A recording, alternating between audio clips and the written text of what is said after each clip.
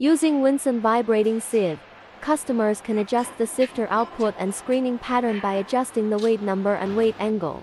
The exciter consists of one motor and weights at both ends of the motor shaft. Reduce the weight number then the vibration force will be lower, the result is reduced screening output while the product is separated more fully for longer time.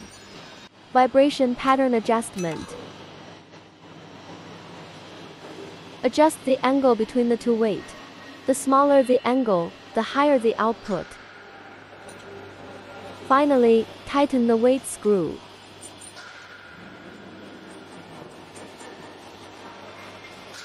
Contact me to get instructions.